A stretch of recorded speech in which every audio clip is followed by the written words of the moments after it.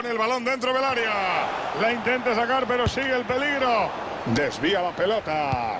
Mbappé la quiere en el segundo palo. Cuelga la bola al área, pero no se lo piensa y tira. ¡Y golazo! Y este gol, Paco, rompe un empate que parecía definitivo. Este tanto puede significar la victoria, Manolo, y de las que gustan en la última estocada. Este gol lo puede haber cambiado todo, Paquito. Y bien que tú lo sabes, queda muy poco y se han puesto por delante en el marcador. Si mantienen la cabeza fría, no pueden perder. El árbitro va a pitar el final de un momento a otro.